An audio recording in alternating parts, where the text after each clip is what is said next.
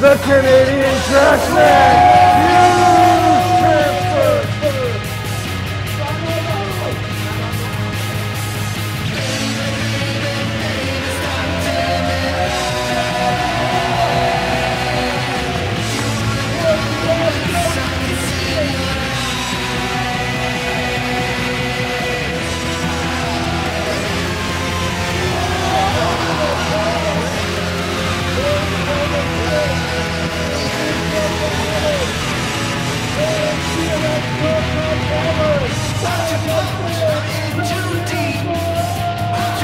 Make no mistake, this is the baddest